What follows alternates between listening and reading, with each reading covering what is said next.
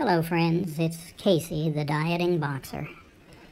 Well, they did it. They broke me. In a moment of weakness, I gave in.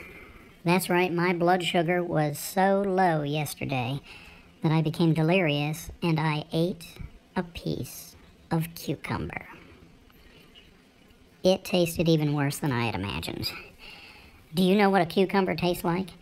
It tastes like I'd rather be fat. That's what it tastes like. Well, after I ate it, I thought to myself, wow, that cucumber sure was filling, said no one ever. For crying out loud, if something has zero calories, tastes like crap, it should at least have the advantage of being filling. I'm sorry. I know I'm irritable.